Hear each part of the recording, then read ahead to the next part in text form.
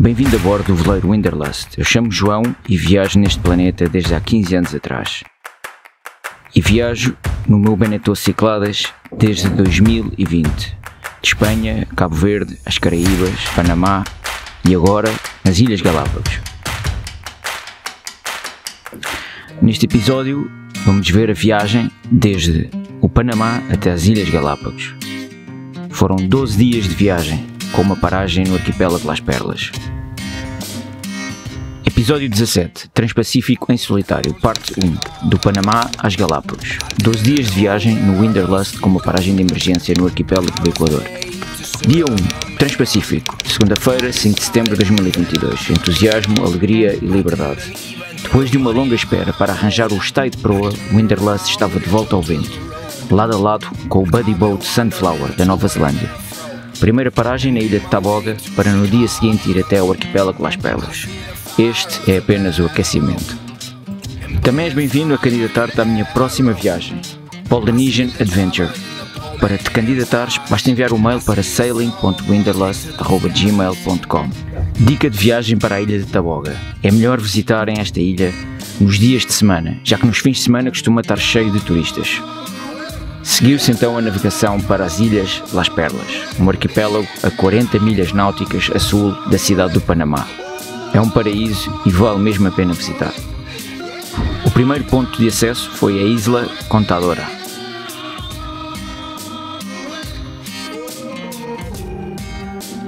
O arquipélago Las Perlas foi também o cenário de filmagem da série Survivor. Ideal para descansar, repousar antes de seguir para uma viagem inteira que viria pela frente até às Ilhas Galápagos e depois à Polinésia. Dia 2, Transpacífico, Arquipélago Las Perlas, terça-feira, 6 de setembro de 2022. Água turquesa de sonho, onde mergulhar, nadar até à praia e subir um coqueiro para um merecido repasto depois de um dia inteiro de navegação. Que paraíso, estas ilhas incríveis de Las Perlas, apenas a 40 milhas náuticas a sul da cidade do Panamá. Duas noites aqui para os últimos preparativos para a navegação offshore e está dada a saída para as Galápagos e depois para a Polinésia. Não deixem de visitar o site sailing-winterlust.com com várias novidades.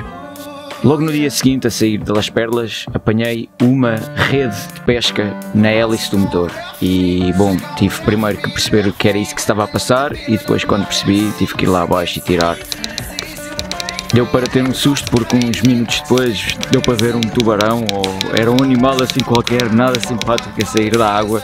Dia 4. Vai onde queres estar. Sexta-feira, 9 de setembro de 2022. Vai onde queres estar. Perdes a tua felicidade e a realização pessoal em não o fazer. A alma vive também deste bem-estar do lugar, da ação e da companhia.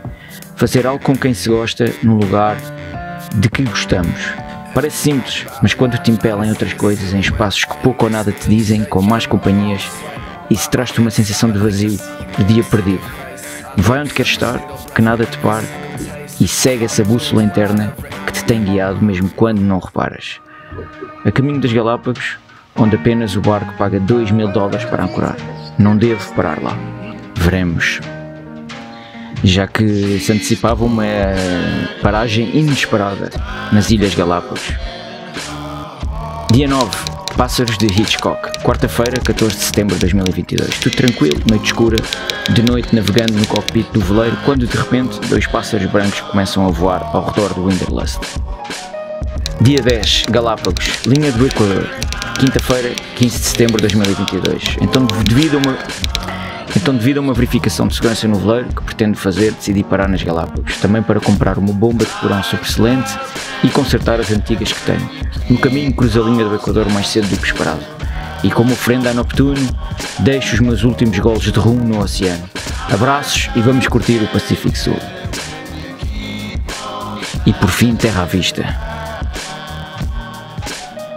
A chegada a Puerto Baquerice Moreno a ilha mais oriental do arquipélago das Galápagos, que pertence à República Andina do Equador.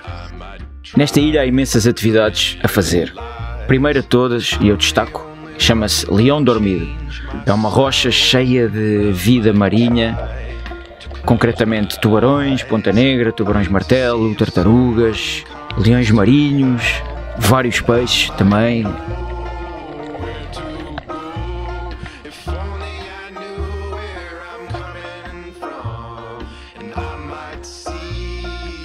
Já agora, apoie este canal em patreon.com.br winterlust. É da maneira que eu posso continuar a sempre atualizar este canal e também tens acesso a conteúdos exclusivos. Passa por lá e deixa o teu apoio. Então quero compilar aqui 5 dicas de viagem sobre as Ilhas Galápagos. Dica de viagem: estadia nas Galápagos. A paragem aqui foi para reparar uma entrada de água salgada no porão. Para tal, autorizaram uma estadia mega curta e que depois foi sendo prolongada até que uns dias antes da estadia máxima, 21 dias, por falha mecânica, descobri que uma válvula de não retorno na bomba de porão estava sem força para aguentar o retorno da água que a bomba tentava expulsar.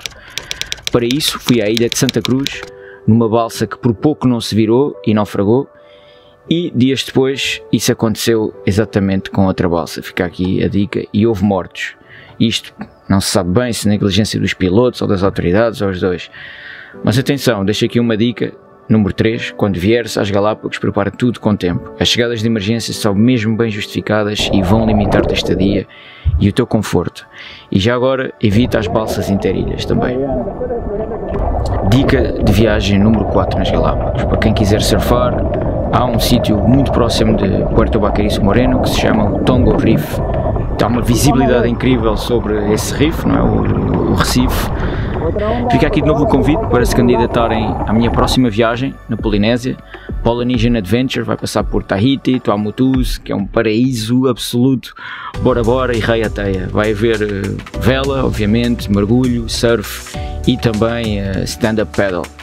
E para se candidatarem, enviem um mail para sailing.winderlust.gmail.com e esta foi a primeira parte do Transpacífico. Na segunda parte, vamos até à Polinésia, com 25 dias de navegação em solitário.